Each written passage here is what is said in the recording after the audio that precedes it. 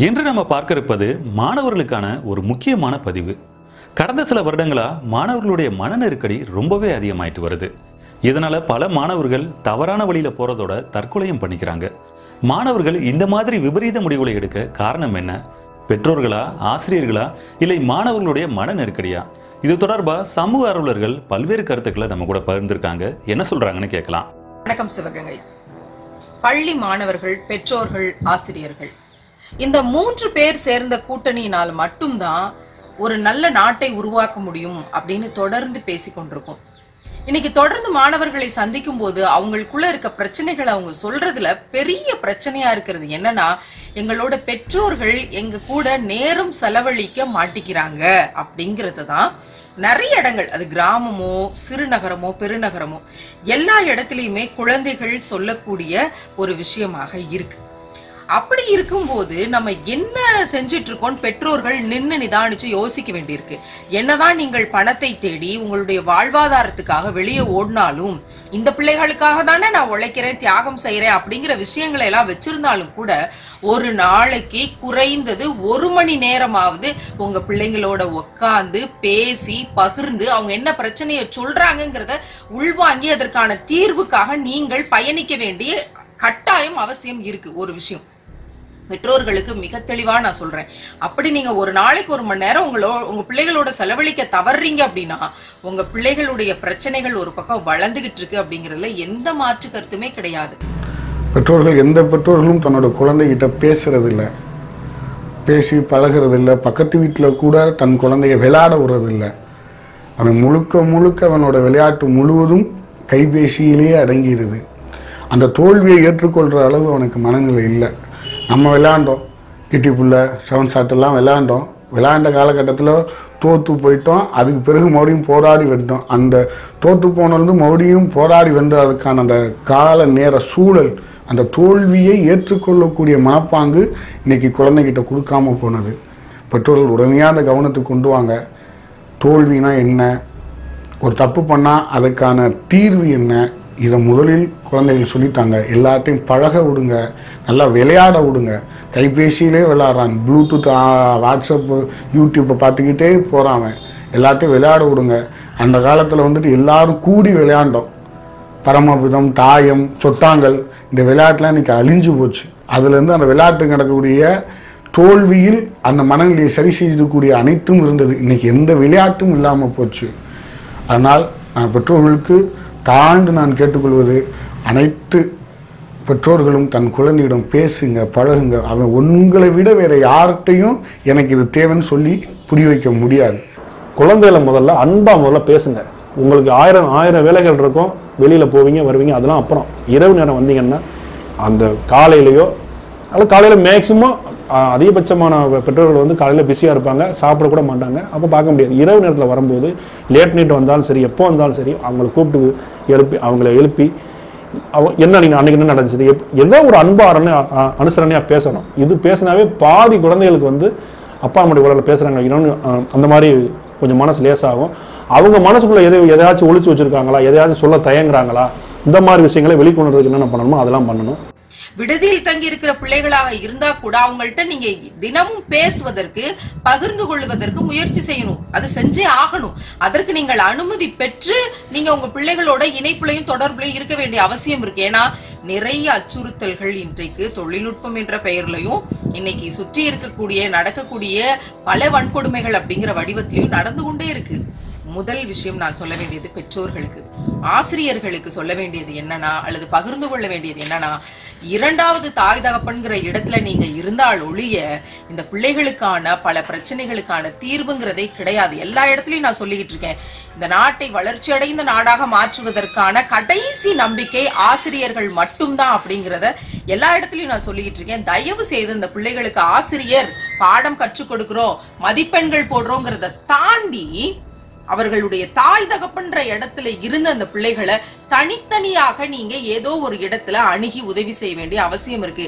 பெற்றோர்கள் ஒரு மணி நேரம் தினமும் பிள்ளைகள்கிட்ட செலவழிக்கணும் அப்படின்னா ஆசிரியர்கள் தினமும் ஒரு நிமிடமாவது தனித்தனியாக பிள்ளைகள்கிட்ட நீங்க பேசணும். ஒரு வகுப்புல ஐம்பது பிள்ளைகள் இருக்காங்கன்னா அவங்க வகுப்பாசிரியர் ஒரு நிமிடமாவது ஒரு ஒரு பிள்ளைக்கும் தனியா வந்து அவசியம் செலவிடுறதுக்கான திட்டமிடலை உருவாக்கணும். பாடத்தை தாண்டி.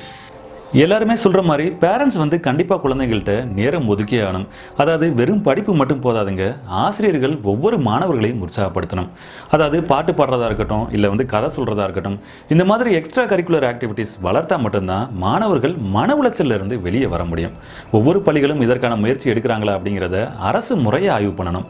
நம்ம இந்தியாவில் தற்கொலை எண்ணிக்கையில் தமிழ்நாடு இரண்டாவது இடத்துல இருக்கு அப்படிங்கிற செய்தி நம்ம எல்லாருமே வருத்தப்படக்கூடிய செய்தி. ஒன்பதாம் வகுப்புல இருந்து பத்தாம் வகுப்பு முடிய அந்த இரண்டு ஆண்டுகளுமே பத்தாம் வகுப்பு பொதுத் தேர்வையே அவன் படித்தான் பதினொன்றாலேருந்து பன்னெண்டாவது இரண்டு ஆண்டுமே பன்னெண்டாவதுக்கான பொதுத் தேர்வை படித்தான் இப்போ அவனுக்கு வந்துட்டு பத்தாவதும் பொதுத் தேர்வு பதினொன்றாம் பொதுத் தேர்வு பன்னிரெண்டாம் பொதுத் தேர்வு ஒரு மூன்று ஆண்டுகள் அவனை அந்த மதிப்பெண்ணுக்காண்டியே நீங்கள் ஓட வைக்கிறீங்க.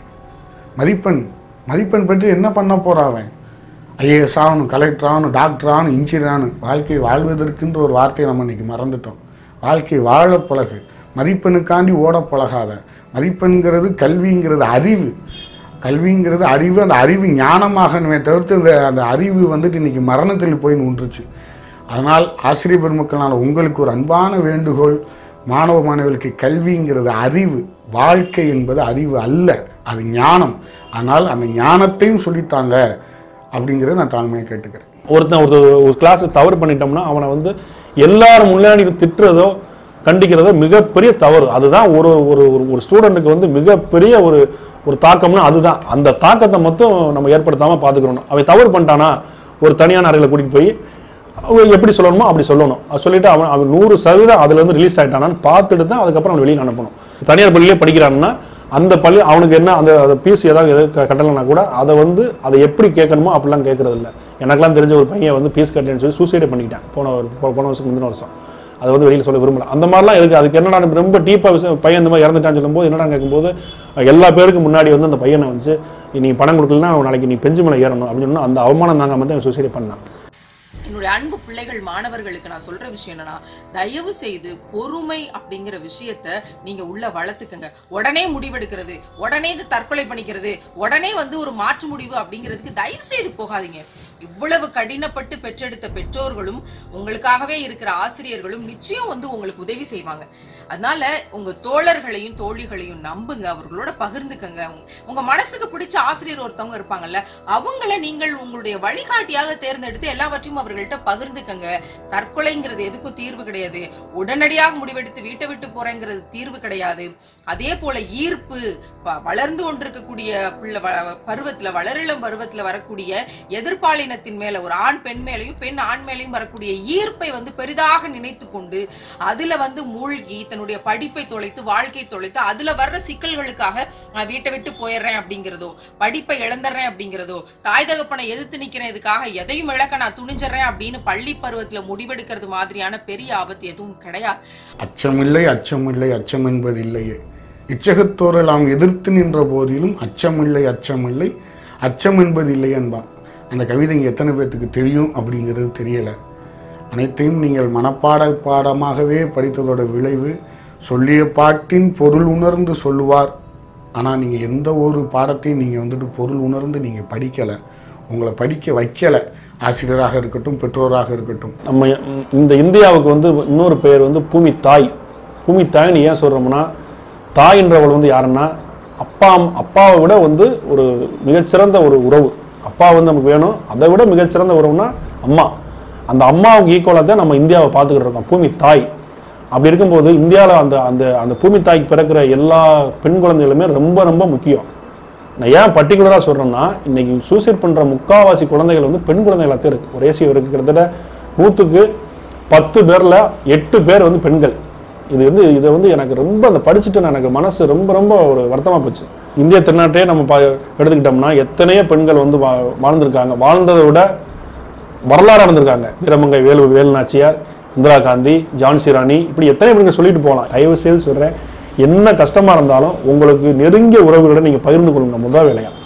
அவங்க உங்களுக்குள்ள இதை சொல்லுவாங்க. அப்படி இல்லையா? இன்னைக்கு கவா அரசாங்கம் மூலியமா எத்தனையோ உங்களுக்கு ஹெல்ப்லைன் இருக்கு. அங்கே நீங்கள் பேசுங்க. அது போக உங்களுக்கு வந்து உங்களுக்கு ஏதாச்சும் உங்களுக்கு வந்து மற்றவங்ககிட்ட வந்து வந்து பாலியல் ரீதியாவோ வேற மாதிரி அடக்குமுறை எதுவாக இருந்தாலும் அதுக்குள்ள கிளிப்லைன் நம்ம ஒரு ஒரு ஒரு ஒரு மா- மாவட்ட தலைநகர்லேயும் உங்களுக்கு ஹெல்ப்லைன் இருக்குது அங்கங்கே மகளிர் காவல் நிலையங்கள் இருக்குது எத்தனையோ வசதிகள் கவர்மெண்ட் செஞ்சு கொடுத்துருக்காங்க. குழந்தைகள் பெண் குழந்தைகளுக்காக கவர்மெண்ட் நிறையா பண்ணியிருக்காங்க. அதனால் நீங்கள் நீங்கள் தயவு செய்து த வி- விபரீதமான முடிவு எதுவும் எடுக்காமல் உங்கள் மனசுக்கு நெருக்கப்பட்டவங்கள்ட்ட சொல்லுங்கள் அதையும் மீறி உங்களுக்கு உங்களால் இது பண்ண முடியலைன்னா அரசாங்கத்தால் சொல்லப்பட்டுள்ள அந்த இந்த மாதிரி போன் காலுக்கு பேசுங்க. அதையும் முடியலாம் பக்கத்தில் உள்ள ம- அனைத்து மகளிர் காவல் நிலையத்துக்கு போய் சொன்னீங்கன்னா அவங்க எல்லா உதவியும் பண்ணுவாங்க. அதெல்லாம் ஒவ்வொரு மாவட்டத்தில் இப்போ அந்தந்த தலைநகரில் வந்து குழந்தை பெண் குழந்தை நல அலுவலகம் ஒருத்தர் இருக்காங்க அவங்ககிட்ட போய் சொல்லுங்கள் இவ்வளோ விஷயங்கள் இருக்குது இதெல்லாம் நீங்கள் போனதுக்கு அப்புறம் தான் மற்றதை பற்றி நீங்கள் பேசணும். இதெல்லாம் நம்ம எடுத்த உடனே நான் உயிரை மாச்சுக்கிடுவேன் அப்படின்றது வந்து அது உங்களெல்லாம் நான் என்ன சொல்கிறேன்னு தெரியல. தயவு செய்து திரும்ப திரும்ப சொல்கிறேன் உயிரை மாச்சுக்கிறாதீங்க தைரியமாக இருங்க. உங்க விஷயத்தை உங்களுடைய உங்களுடைய மனசப்பட்ட விஷயங்களை முதல்ல வெளிக்கொணர நீங்கள் ஏற்பாடு செய்யுங்க. ஒரு தாய் தகப்பன் நல்ல நண்பர்களாக இருந்தாலும் ஒரு ஆசிரியர் நல்ல தாய் தகப்பனாக ஒரு பிள்ளைக்கு இருந்தாங்கன்னா இந்த பிரச்சனையில இருந்தெல்லாம் பிள்ளைகளை மிக தெளிவாக மீட்டெடுக்க முடியும். பிரச்சனையை வராம கூட பாதுகாத்துக் கொள்ள முடியும். இதை அவர்களும் என்னுடைய அன்பான மாணவ கண்மணிகள் எந்த பிரச்சனையா இருந்தாலும் அதை எதிர்கொள்ள முடியும் அப்படிங்கிற தன்னம்பிக்கையை வளர்த்துக்கணும்னா புத்தகம் படிங்க. நம்முடைய நாட்டுக்காக சுதந்திர போராட்டத்தில் எப்படியெல்லாம் போராடி உயிரை கொடுத்தார்கள் அப்படிங்கிறவர்களுடைய புத்தகங்களை படிங்க. அப்படிப்பட்ட வரலாற்று புத்தகங்கள் உங்களை தன்னம்பிக்கைவாதிகளாக மாற்றும் இந்த நாட்டுக்கான பிள்ளைகளாக மாற்றும். ஒரு அவசர முடிவெடுத்து உயிரையோ உணர்வையோ இழக்க வேண்டிய அவசியத்திலிருந்து உங்களை மீட்டெடுக்கும். இதுதான் பிள்ளைகள் பெற்றோர்கள் ஆசிரியர்களுக்கு இன்றைக்கு நான் வழங்கும் பதிவு. நீட் தேர்வை நீக்க கோரி தன்னுடைய அரசு வேலையவே தூக்கி எறிந்த ஆசிரியர் சபரிமலா அவர்கள் இன்னைக்கு நம்ம நிகழ்ச்சியில பல்வேறு கருத்துக்களை பகிர்ந்துட்டாங்க தமிழகம் முழுவதும் இருக்கக்கூடிய பல்வேறு பள்ளிகளுக்கு நேரடியாக அவரே சென்று மாணவர்களுக்கு விழிப்புணர்வு செய்திகளை வழங்கிட்டு வராங்க. நிகழ்ச்சியில் கலந்து கொண்ட அனைவருக்குமே நன்றி. ஒவ்வொரு மாணவர்களையும் பாதுகாப்பது நம் அனைவரின் கடமை.